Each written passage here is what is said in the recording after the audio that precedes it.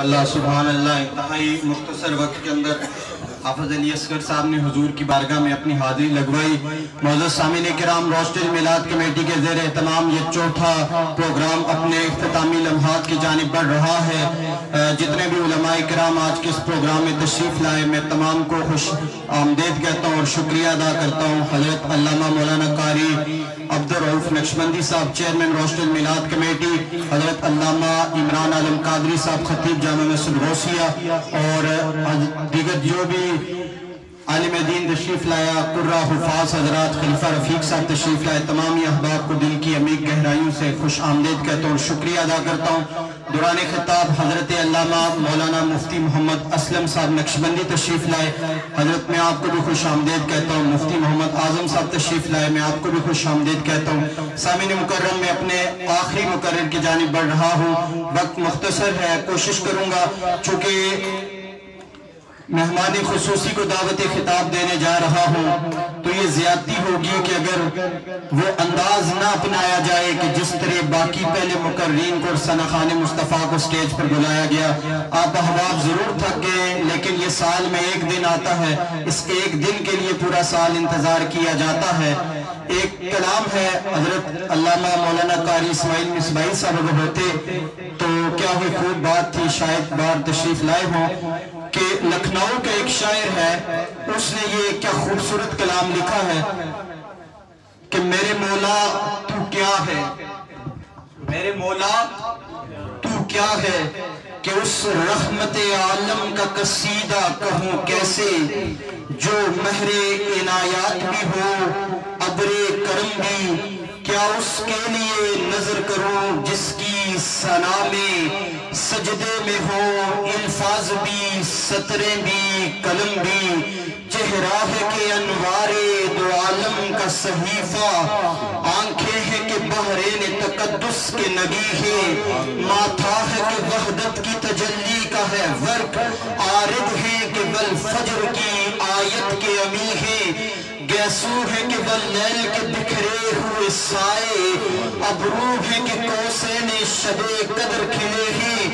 گردن ہے کہ برفر کے زمین، اوج سریا۔ لب صورت یاکوت شعاؤں میں دلے ہی۔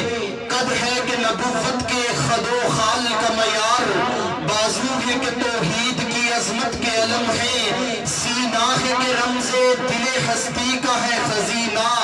بلکہ الفاظ رخ لوہ قلم ہے۔ باتیں ہیں کہ تو با کی چٹکتی ہوئی کلیاں۔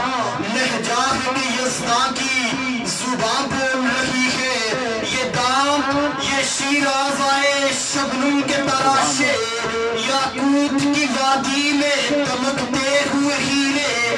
یہ موجے تبسم ہے کہ رنگوں کی دنک ہے۔ یہ عکس متانت ہے کہ ٹھہرا ہوا موسم۔ یہ شکر کے سجدے ہے کہ آیات کی تنظیم یہ آنکھ میں آنسو ہے کہ انعام کی رمجن یہ دوش پہ چادر ہے کہ بخشش کی گٹا ہے۔ یہ مہرے نبوت شوق کہ نقشے دل محتاب رفتار میں افلاق کی گردش کا تصور، کردار میں شامل بنی ہاشم کی اناخے گفتار میں قرآن کی صداقت کا تیقن معیار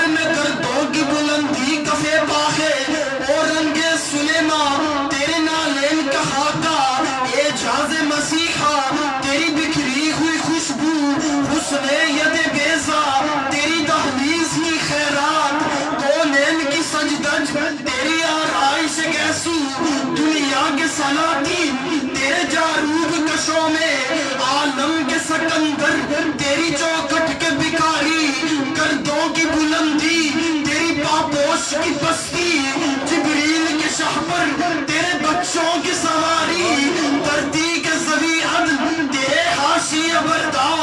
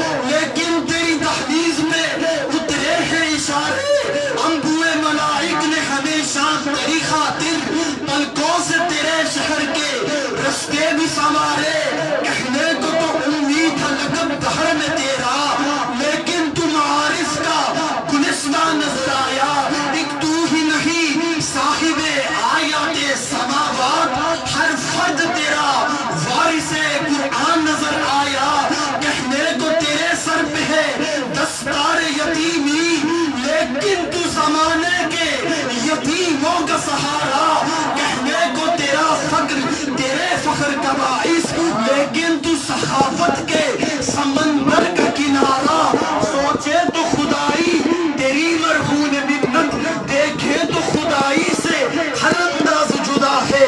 یہ کام بشر کا ہے، نہ جبریل کے بس میں۔ تو خود ہی بتا، اے میرے مولا، کیا ہے؟ تو خود ہی بتا، اے میرے مولا کیا ہے سامین کرام، آپ کی ہی بھرپور محبتوں کے سائے میں میں دعوت خطاب دینے جا رہا ہوں۔ عالم نبیل فاضل جلیل خطیب اعظم آزاد کشمیر، میری مراد حضرت علامہ مولانا مفتی محمد اسلم صاحب نقشبندی ہے آپ کے نعروں کی گونج میں تشریف لاتے ہیں۔ نعرہ تکبیر۔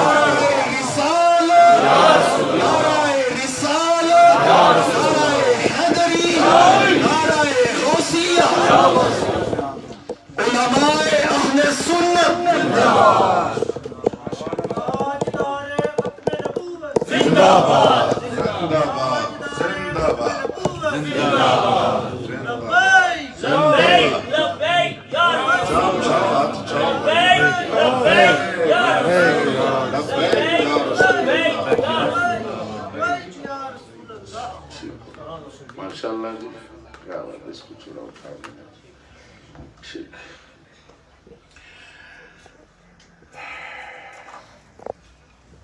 نحمده ونصلي على رسوله الكريم، أما بعد، فأعوذ بالله من الشيطان الرجيم. بسم الله الرحمن الرحيم. الذي يراك حين تقوم وتقلبك في الساجدين، صدق الله مولانا العظيم، وبلغنا رسوله النبي الكريم. رب صل وسلم دائما ابدا على حبيبك خير الخلق كلهم. رب اشرح لي صدري ويسر لي امري. واحلل عقدة من لساني يفقهوا قولي. صبح طیبہ میں ہوئے بٹتا ہے بارہ نور کا، صدقہ لینے نور کا، آیا ہے تارا نور کا۔ اور باغ طیبہ میں سہانا پھول پھولا نور کا۔ مست بوئیں بلبلیں پڑتی تھی کلمہ نور کا۔ آقا تیرے ہی ماتھے رہا ہے جان سہرا نور کا، وقت جادہ نور کا، چمکا ستارہ نور کا۔ اور ناریوں کا دور تھا، دل جل رہا تھا نور کا۔ تم کو دیکھا ہو گیا ٹھنڈا کلیجہ نور کا۔ تیرے ہی ماتھے رہا ہے جان سہرا نور کا وقت جاگا نور کا، چمکا ستارہ نور کا۔ اور چاند چھک جاتا جدھر انگلی اٹھاتے بعد میں، کیا ہی چلتا تھا اشاروں پر کھلونا نور کا۔ ایک اور بزرگ اسی باہر میں بولے۔ انہوں نے کہا، بارہویں کو اوڑھ کر جب نکلا دشالہ نور کا، پھر ہو گیا سارے جہاں بھر میں اجالا نور کا۔ اور مہد میں جب لیٹ جاتا تھا سراپا نور کا آ کے خود نوری جھلا جاتے تھے جھولا نور کا۔ گرامی قدر حضرات وقت مختصر ترین ہے۔ انتہائی خوبصورت خطابات، علامہ حافظ امجد محمود بغاروی دامت برکات ملا دیا میں نے ان کا خطاب تو سماعت آج نہیں کیا، لیکن مجھے پتا ہے وہ جو بھی عنوان اور جو بھی زبان ان کے ذمہ ہوتی ہے، وہ اس کی، اس کو بخوبی نبھاتے ہیں اور پورا کرنے کا سلیقہ انہیں میسر ہے۔ اور قاری صاحب کی بلا نے انتہائی خوش الحانی کے ساتھ سید عالم صلی اللہ علیہ وسلم کی عظمتوں کو آپ کے سامنے بیان کیا۔ آج کا عنوان، اس کا بھی میں نے سن لیا ہے۔ لیکن میں ایک آئے کریمہ جو میں نے پڑھی ہے، اور ہمارے عزیز القدر علامہ فہیم سجاد اب لکھنؤ کا لکھنے والا ہو، پھر دو چار کوئی لکھنوی بھی ہوتے نا، اردو ادب کو وہ سمجھتے کہ یہاں کہاں یہ کہاں بات ہو رہی ہے۔ جی؟ ہم تو چونکہ میاں صاحب کو سننے والے ہیں رومی کشمیر کو پنجابی سننے والے، اور پھر اعلی حضرت کی وجہ سے کچھ کچھ اردو کے ساتھ بھی شغف ہے، لیکن لکھنؤ کا شاعر ہو اور پھر دو چار بھی بندے بیٹھے ہو نا ان میں، تو وہ پھر پتہ چلتا ہے کہ شاعر کی سیل کہاں پرواز کر رہا ہے۔ اور اس لیے کہ جب سرکار کی بات ہو رہی ہو اور کوئی محبت کے رنگ میں جب بات کرتا ہے اللہ جانتا ہے، پھر عقل و شعور کی پرواز بہت نیچے رہ جاتی ہے۔ سرکار خود گرم فرماتی ہے اور غلط بھی، الفاظ بھی، حروف بھی، نقوش بھی، جملے بھی، کلمے بھی، کلام بھی خود بخود آتا ہے۔ اور بریلی کے تاجدار نے بھی یہی کہا کہ بس ہو گئی میری غزل، بڑھ کر قصیدہ نور کا۔ اور میں ہم تو جو الفاظ ہی جوڑ رہے تھے۔ الفاظ جوڑ رہے تھے اور یہ سرکار کی نسبت نے اس کو یہ شرف و اعزاز عطا فرما دیا۔ حضرت قبلہ خلیفہ صاحب ہمیشہ یہاں بڑے اچھے پروگرام اور بڑا بازوق اہتمام ہوتا ہے۔ مقتدر علماء کرام جلوہ فروز ہے حضرت شاہ جی قبلہ ممبر شریف پہ اور علامہ الحاج عبد الرؤف صاحب چشتی چیئرمین کمیٹی آپ بھی تشریف فرما ہے۔ مفتی اعظم نام بھی محمد اعظم ہے اور منصب کے اعتبار سے بھی اللہ علامہ مفتی محمد اعظم صاحب آپ بھی تشریف فرما اسی طرح دیگر بہت سارے احباب جن کو میں دیکھ رہا ہوں، پروردگار عالم سب کو دارین کی عزت عطا فرمائے۔ گزشتہ عرصے میں حضرت قبلہ خلیفہ صاحب دعوت برکاتم العالیہ آپ کی ہمشیرہ محترمہ کا انتقال ہوا، خواہش کے باوجود میں حاضری کے لیے نہ سکا دعا گو۔ ہوں اللہ تبارک و تعالی مرحومہ کے درجات بلند فرمائے۔ مفتی صاحب کے برادر، ان کا انتقال ہوا، دیگر جو بھی احباب، اللہ تبارک و تعالی ذکر مصطفیٰ کا صدقہ تمام مرحومین کے درجات بلند فرمائے۔ مکہ کے ابتدائی حالات تلخ حالات تھے، مشکل ترین حالات تھے، لیکن سید عالم صلی اللہ علیہ وسلم نے قاری صاحب نے جو بات کی نا، سرکار جب ہرار سے واپس تشریف لائے تو وہ وجود پہ کب کبھی تاری ہے؟ اس لیے کہ بے شک یہ ختم نبوت کا تاجدار ہے، رب کا حریب ہے اور وہ قرآن سرکار کے سینے میں ہے۔ جس کو پہاڑ بھی برداشت نہیں کر سکتے، لیکن ادھر بھی تو رب ہے نا۔ رب کے ساتھ ہے۔ آپ گھر جب تشریف لائے اور کمبل اوڑھ لیا، چارپائی پہ یا بچھونے پہ، سرکار دراز ہو گئے۔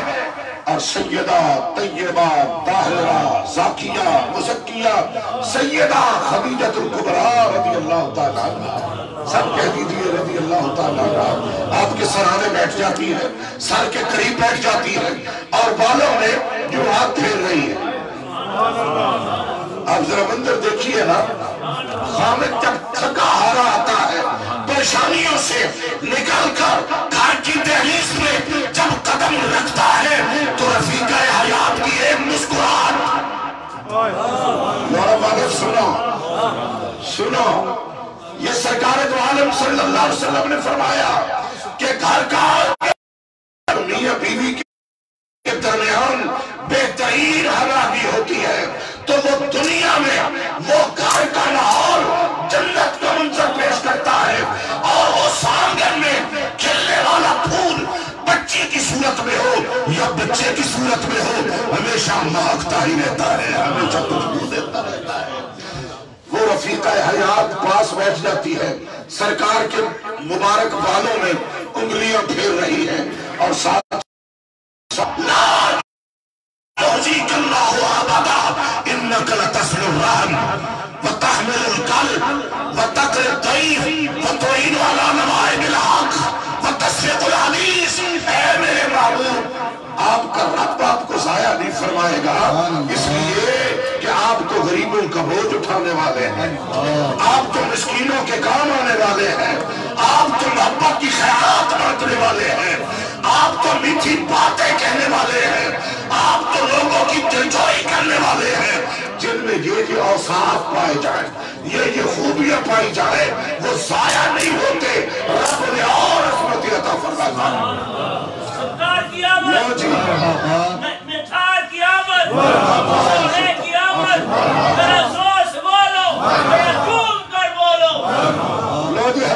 صاحب کی تشریف لائے لیکن تھوڑی دیر پہلے آ جاتے تو لکھنؤ کا کلام میں نے بات کر چکا ہوں حضرت صاحب کی بلا۔ آپ صاحب نے ماشاءاللہ کلام پڑھا ہے نا مزہ آ گیا۔ صحیح بات ہے۔ اور انہوں نے آپ کو یاد بھی کیا ہے۔ تو چلو وہ بات ہوگی اب تو دہرانے کا چونکہ اتنا وقت ہی نہیں ہے۔ لو جو آئے کریمہ میں نے پڑھنے کا شرف حاصل کیا، اس پر تھوڑی سی سمہ خراجی کروں گا۔ اہل سنت کا توجہ چاہوں گا، ایک شخص کی۔ اہل سنت کا اللہ کے فضل و احسان سے قرآن سنت کی روشنی میں یہ مکمل دنیاگی اور ضروری اور پکا بیٹا یہ عقیدہ ہے کہ حضرت آدم سے لے کر جناب عبداللہ تک اور سیدہ آمینہ سلام اللہ علیہ تک۔ سرکار کے سارے کے سارے موجبان اہل جنت میں سے پھر اہل ہیں سارے کے سارے جنت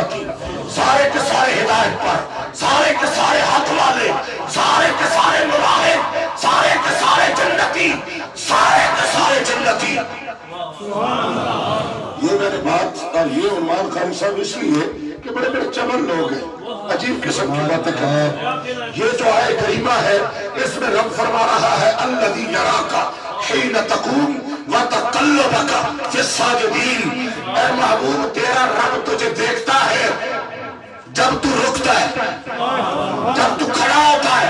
وَتَقَلُّبَكَ فِي السَّاجِدِينَ اور سجدہ گزاروں میں تیرے دورے کو۔ لو جی پہلی اس کی تفسیر قاری صاحب کی قبلہ پہلی تفسیر جو سب کے لیے قابل قبول ہے کہ سرکار مسجد ربی شریف میں تشریف لائے، صحابہ نماز پڑھ رہے ہیں، حضور علیہ السلام والسلام خرامہ خرامہ وہاں سے گزرتے ہیں، کبھی رک جاتے ہیں، کبھی چل پڑتے ہیں۔ میں نے کہا، ربا، اس میں بھی کلام تو نے اس میں بھی ہمیں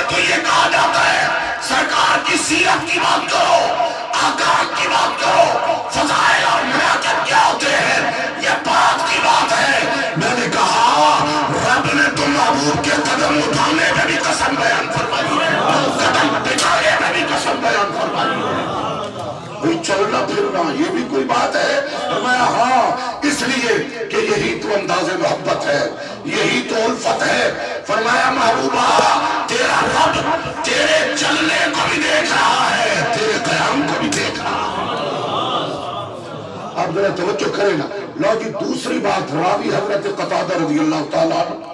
بہت ساری اپنا تفسیر میں یہ روایت موجود ہے حضرت قطادہ رضی اللہ تعالیٰ عنہ راوی ہے الذي يراك حين تقوم وتقلبك في الساجدين قال سألت عن قطادة قال سألت رسول اللہ صلی اللہ علیہ وسلم حضرت قطادہ فرماتے ہیں اگر آپ تھوڑے آگے آ کچھ تو اچھا نہیں لگ رہے ہمارا جڑا تجھے ذوق بنایا کمال ہو گیا لو جی کلام یہ کوئی انہوں نے آج ہی نہیں پڑھا بہت سارے لوگوں نے پڑھا ہوا ہے کوئی نایاب چیز نہیں تھی۔ بہرحال اور سرکار کا ذکر جب بھی ہو وہ پرانا تو نہیں نہ ہوتا۔ میاں صاحب نے بھی یہ بات فرمائی ہے کہ جہاں جہاں روپ زیادہ چرسی جہاں جہاں روپ زیادہ چرسی، کبھی نو سی بیہا یہ بیہا جو ہے نا بیہا بیہا بہی روٹی۔ کیا مطلب؟ باسی روٹی یعنی کل پرسوں کی۔ بھئی پرانی۔ تو میاں صاحب نے فرمایا، یہاں یہ پرانا ہونے والی بات نہیں ہے۔ وَلَلْآخِرَةُ خَيْرٌ لَكَ مِنَ الْأُولَى۔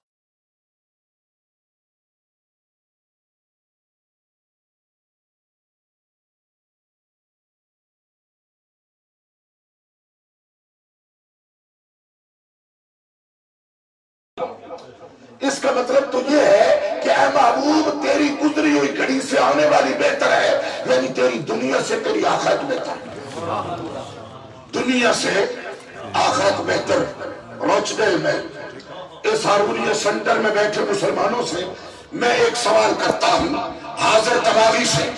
اس کا جواب ارشاد فرمانا ہے۔ دل کا مفتی بھی بڑے فتوے دیتا ہے اور جو وہ فتوے دیتا ہے وہ بالکل صحیح ہوتا ہے۔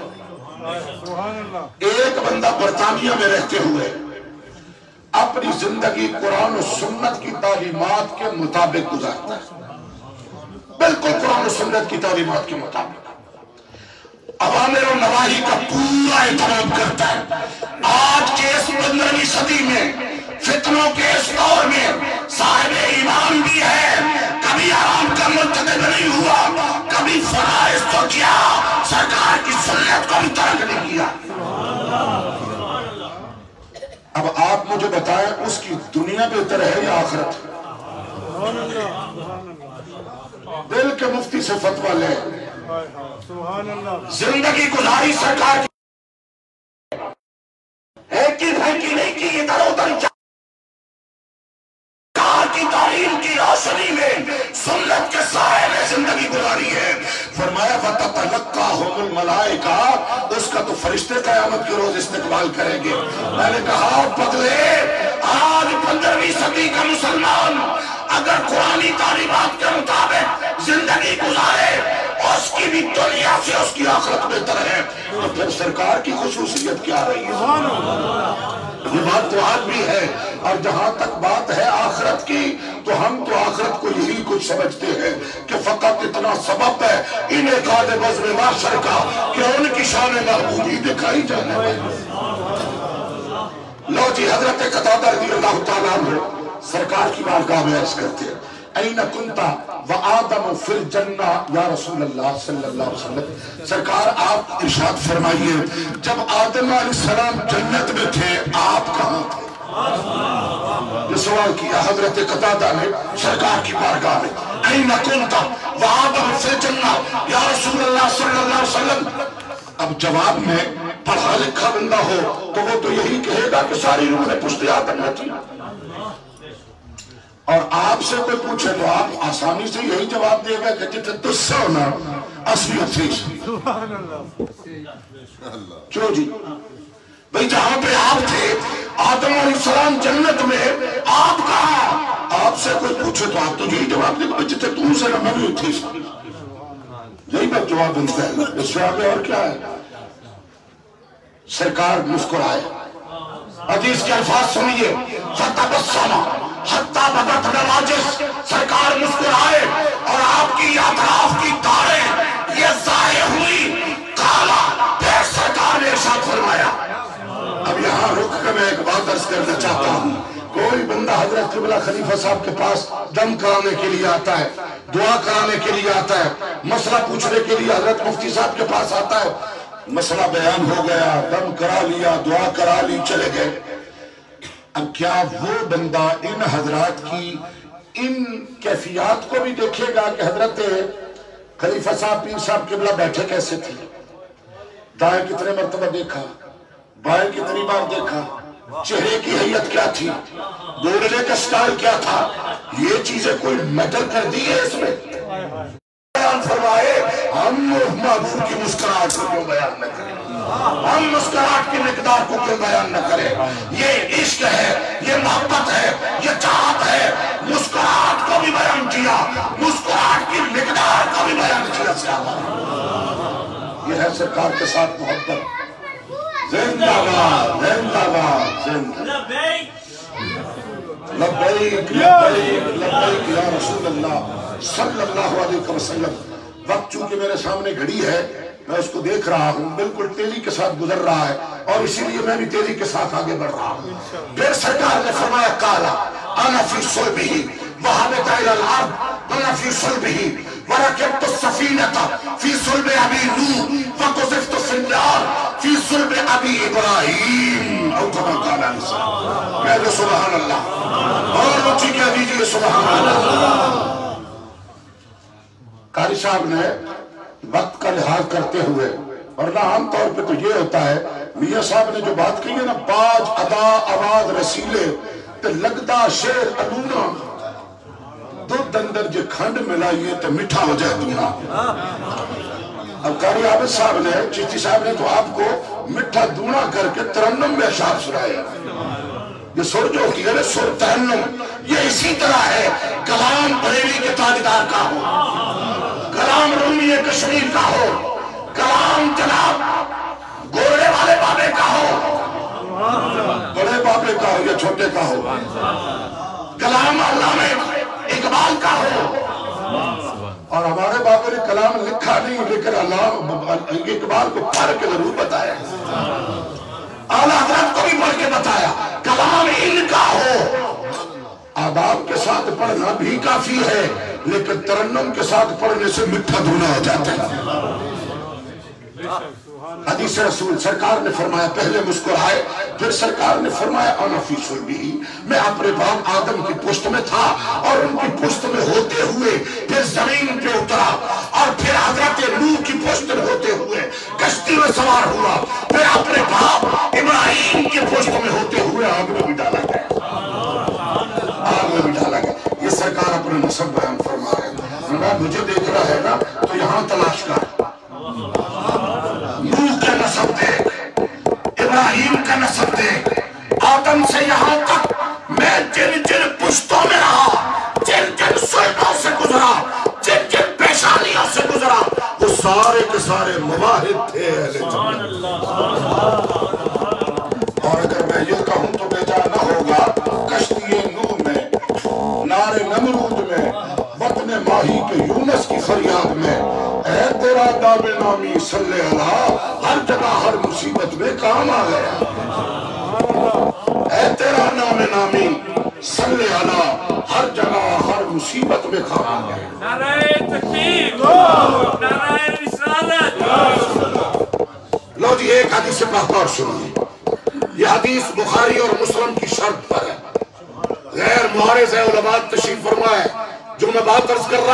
ہوں بخوبی یہ آپ حضرات بھی آپ تو ویسے ہی ماننے والے ہیں، الحمدللہ۔ آل سنت کو تو آل سنت کا تو نظریہ یہ ہے کہ نام میں پہلے پام اللہ کوئی یار نہیں کن سنا ہمارے تو فقراء درجے پہ بات کرتے ہیں، لیکن علماء اب ضرورت ہے یہ سوشل میڈیا کا دور ہے۔ کہیں کوئی انجینئر میں کو پلمبروں کا کام، ادھر کیا ہوتا ہے؟ وہ کہیں تو کو بک بک کر رہا ہے۔ اور اب داتا صاحب کے بارے میں جناب تاری صاحب کو کلام شروع کر دیں آج کے اس دور میں، تو اسے کہا جائے گا، اپنا قد دیکھ۔ اپنا قد دیکھ۔ تجھے کیا منہ لگانا ہے؟ اور حضرت شیخ مجدد کے بارے کلام کرے۔ حضرت پیر سید میرے علی شاہ کے بارے کلام کرے۔ میں نے کہا، تیرے لیے تو گائے کی تحریز کو کراس کرنا ممکن نہیں ہے اور تو ان کے لیے کر رہا ہے، جن پہ رب کے درود آتے ہیں۔ بخاری اور مسلم کی شرط پر غیر معارض غیر مجروح، متصل، مرفوع حدیث۔ بسم اللہ۔ یہ ایک اعلان ہے معذرت درمیان میں کر رہے ہیں کہ گاڑی ہے N U six three Z P X جس کسی کی بھی ہے پلیز جا کر سائٹ پر کر دیں۔ اور دوسری F G one six L D X یہ دو گاڑیاں ہیں۔ برائے مہربانی جو کوئی بھی سن رہا ہے، سارا ٹریفک کا سسٹم سٹرک ہوا ہوا ہے۔ بار بار بار سے لوگ کہہ رہے ہیں۔ برائے مہربانی اس کو سائٹ پر کر دیں۔ N U six three Z P X جس کی گاڑی ہے جائیں، اور F G one six L D X جس کی بھی ہے جا کر سائٹ پر۔ لو جی حدیث سنیے، پھر سرکار کا فرمان۔ میرے آقا نے فرمایا خیر القرون بنی آدم۔ اب اس پہ بڑا کلام تھا میں نے بالکل چھوڑ دیا ہے۔ خیر القرون بنی آدم کرنن فکرنن حتی بعثتو من القرن الذي كنت منه كما قال اسلام سرکار نے فرمایا میرے رب نے اولاد آدم کے بہترین گروہ میں مجھے پیدا کیا۔ بہترین گروہ۔ پھر کرنا فکرنا پھر گروہ در گروہ۔ منتقل ہوتا رہا، حتیٰ کہ یہاں، حتیٰ کہ جس طرح اب تم مجھے جس گروہ میں دیکھ رہے ہیں۔ اب میں اس پہ لمبا تبصرہ نہیں کروں گا۔ کیا کوئی بندہ صاحب ایمان خیر القرون، بہترین گروہ بہترین گروہ کا معیار کیا ہے؟ ہم کسی مولوی صوفی سے بھی نہیں، بریلی کے تاجدار سے بھی نہیں، کشمیر کے رومی سے بھی نہیں برائے راست رب کے کلام سے پوچھتے ہیں، پروردگار تو بتا بہتری کا معیار کیا ہے فرمایا، وَالْعَبْدُ مُؤْمِنٌ خَيْرٌ مِّن مُشْرِكٍ۔ مومن اگرچہ غلام ہی کیوں نہیں، آزاد مشرق سے عرفہ والا ہوتا ہے۔ وَالْعَبْدُ مُؤْمِنٌ خَيْرٌ مِّن مُشْرِكٍ۔ مشرق اگرچہ آزاد ہو مومن اگرچہ غلام ہو، وہ عرفہ والا ہے۔ اور سرکار کے تو سارے ابا و ہمیشہ سے آزاد آئے ہیں، ہمیشہ سے مومن آئے اسی شاید انہی خصوصیات کی ہمیں ایک اور حدیث بھی سن لیجیے سرکار نے فرمایا، ما خلت الارض من بعد نوح من سبات يدفع الله بهم العذاب عند اهل الارض. او كما قال اس الاسلام سرکار نے فرمایا طوفان نوح کے بعد زمین پر سات بندے ہر دور میں ایسے رہے ہیں جن کے وجود کی برکت سے پروردگار نے اہل زمین کو عذاب سے محفوظ رکھا ہے۔ اب اگر میں بغیر دلیل کے بھی یہ بات کہوں کہ وہ جو سات بندے تھے، وہ وہی تھے جن کے پیشانیوں میں، جن کی پشتوں میں، جن کے آرام میں سرکار کا نور پاک منتقل ہوتا رہا۔ ان کی برکت عذاب سے محفوظ رکھتا ہے اگر میں یہ بات بلا دلیل بھی کہوں، تو کم سے کم کلمہ پڑھنے والے بندے کے تو پیٹ میں مروڑ نہیں نہ اٹھنا چاہیے۔ جو سرکار کا کلمہ پڑھتا ہے، اس کے پیٹ میں مروڑ نہیں ہونا چاہیے۔ اور اگر پھر بھی سمجھ رہا ہے، تو قرآن فرماتا ہے، ما یفعل اللہ بعذابکم رب فرماتا ہے کہ رب کو کیا ہے؟ اللہ تبارک و تعالی کفار نے چیلنج کیا نا۔ کفار نے چیلنج کیا۔ ابے تراب عذاب علیم۔ فرمایا، ما کان اللہ لیعذبہم وانت فیہم حبیبہ مجھے زیب نہیں دیتا ربا ہاں کیوں؟ فرمایا، اللہ وہ تو جو موجود ہے۔ سراپا رحمت ہے۔ تیرے ہوتے ہوئے کفار کو بھی عذاب نہیں دیا جائے گا۔ اور جہاں تیرا نور رہا، وہاں کفر کیسے آ سکتا ہے اس لیے یہ اہل سنت کا عقیدہ ہے اللہ کے فضل سے، انبیاء کرام کے بارے، رسول اسلام کے بارے میں۔ وہ تمام کے تمام، یہ غلط بات ہے جو حضرت ابراہیم علیہ السلام کے ابوین کے بارے میں چبلے ماری جاتی ہیں۔ اور اللہ تبارک و تعالیٰ فرماتا ہے، ما کننا معذبین حتی نبعث رسولا، جب تک ہم کوئی ڈرانے والا نہ بھیج لیں، عذاب نہیں دیتے۔ سرکار کے والدین کے پاس کون نبی آیا ہے؟ کون پیغمبر آیا ہے؟ کون رسول آیا ہے؟ اور آپ کے ماں باپ کے نام کو دیکھیے، ادھر آمینہ ہے، ادھر عبداللہ ہے۔ آمینہ ہے، عبداللہ ہے۔ اور آل سنت کا یہ عقیدہ اور نظریہ ہے کہ کتنے ادب سے نام لوں رسول کا لازم ادب بہت ہے اصل رسول کا۔ جس کی نگاہ میں ام نبی کا حیا نہیں، وارث ہے ابو چاہل کا، ابن سلول کا۔ ہاں جی۔ یہ یہ جو ہے نا، کچھ بعض اوقات کہ سمیتا نہیں نہیں، ذرا ہاتھ ہاتھ ہونا رکھنے کے بعد ہم نے کب کسی کو ڈال ماری۔ سرکار کے ماں باپ کی عظمت کا بیان کیا ہم نے۔ سرکار کے باوجدات کا ذکر تذکرہ کیا ہے۔ سرکار کے باپ کا ذکر کیا ماں کا ذکر کیا۔ آج کا نوجوان کہتا ہے، ذرا ماں کی شان بھی پڑھیے۔ میں نے کہا، تیری کی، میری ماں کی تو شان کیا ہوگی؟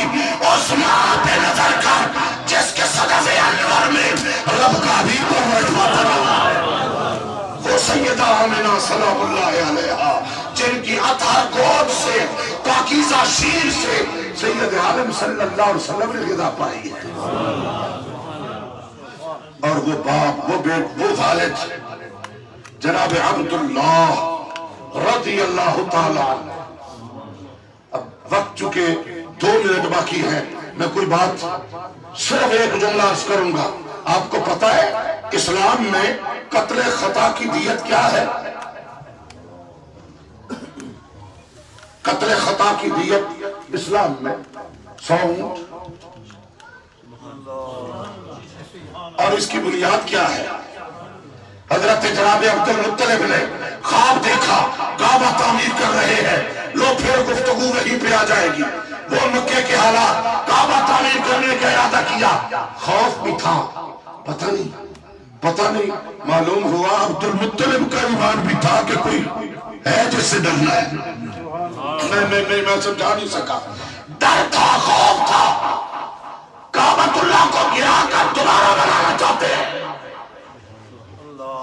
زمزم کا کنواں کھودنے کا ارادہ ہوا اور پھر منت مانی کہ اگر یہ کچھ ہو گیا نا، تو اپنے دس بیٹوں میں سے ایک بیٹے کی قربانی دوں گا اور قربانی کا وہی تصور جو حضرت ابراہیم علیہ السلام کا تھا۔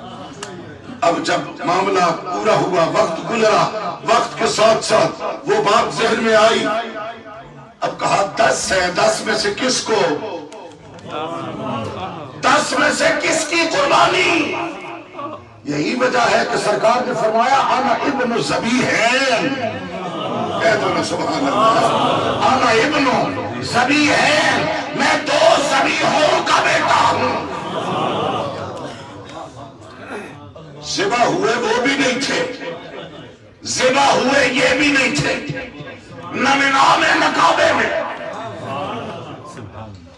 اب جب پرچی ڈالی دس ہے کس کو پرچی ڈالی تو حضرت عبداللہ کا نام پورا مکہ تڑپ جاتا ہے عبد المطلب تو نے تو نظر مانی ہے اگرچہ یہ بیٹا تیرا ہے لیکن پورے مکہ کے ماتھے کا چوما ہے اور ایک کی نگاہوں کا مرکز ہے اس لو جلال کا پیکر ہے اس لیے کہ یہ وہ پیشانی تھی جہاں مصطفیٰ کا نور اقدس جلوہ فرماؤ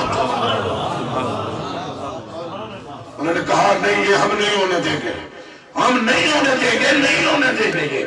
کبھی کبھی ایسا بھی ہوتا ہے۔ پرچی بھی۔ اب اب کوئی یہ کہے یہ حسن اتفاق اتفاق کا ایسے ہو گیا۔ میں نے کہا، اگر میں یہ کہوں، اتفاق کا نہیں ہوا، انتخاب ہوا؟ ہے انتخاب ہوا ہے رب کی طرف سے۔ نہیں نہیں نکلا جی۔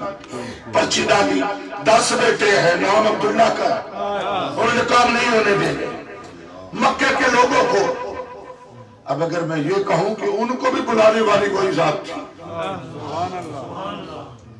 حضرت ابراہیم علیہ السلام کے واقعے کو ان دونوں, دونوں کو نہ ملا تو تصور میں لائے لو میں مختصر کروں۔ لوگ آنے آ گئے انہوں نے کہا نہیں ہونے دیں گے۔ انہوں نے کہا اچھا پھر کیا کیا جائے؟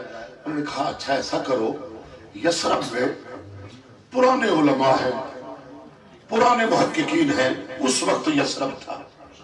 وہاں جاؤ ان سے پوچھو فلاں راہب بڑا ماہر ہے۔ انہوں نے کہا اچھا طریقہ یہ ہے جناب، آپ ایسے کریں، ایک طرف حضرت عبداللہ کا نام لکھیں، ایک طرف دس سونٹ۔ پرچی میں دس سونٹ، حضرت عبداللہ کا نام، پھر قرآن نکالے اگر نام عبداللہ کا آئے، تو دس سونٹ اور بڑھا دیں۔ جب اونٹوں بھی پرچی نکل آئے، جتنی تعداد ہو۔ اتنے اونٹ ذبح کریں، آپ کی نظر اور منت پوری ہو جائے۔ اور اگر نہ ہو تو دس دس۔ دس دس بڑھاتے جائیں۔ دس پہ پرچی۔ نام جناب عبداللہ والد گرامی سرکار رضی اللہ تعالیٰ عنہ، بیس کر دیے، پھر بھی تیس کر دیے، پھر بھی چالیس ہو گئے، پھر بھی ستر پہ پہنچے، پھر بھی اسی پہ، پھر بھی نوے پہ پہنچے، پھر بھی۔ اب کوئی عقل کا نہیں اب بھی کسی کو سمجھ نہیں آئی کہ یہ اتفاق نہیں، انتخاب ہے۔ اسے تو پھر دیوار کے اس کا تو سر پکڑ کے مارنا چاہیے نا۔ جب سو کا عدد ہوتا ہے، اب سو کے بعد پرچی نکالی تو اونٹوں کا نام آ رہا ہے۔ حضرت عبد المطلب نے فرمایا، نہیں، اتفاق ہوا ہوگا، پھر نکالو۔ پھر اونٹ آپ نے کہا اچھا ایک بار پھر نکالو، پھر اونٹ ہمیں اچھا بھی ذبح کر دو۔ جب اسلام کی بات آئی نا، تو سرکار دو عالم صلی اللہ علیہ وسلم نے اپنے والد گرامی کی اسی چیز کو اسلام میں راج فرما دیا، اسی کو راج کر دیا۔ گرامی قدر حضرات، ہو گئی، زندگیاں ختم اور قلم ٹوٹ گئے۔ تیرے اوصاف کا ایک باب بھی پورا نہ ہوا۔ کشتی نوح میں نار نمرود میں، بطن ماہی کے یونس کی فریاد میں۔ اے تیرا نام نامی صلی اللہ، ہر جگہ ہر مصیبت میں کام ہو زندہ باد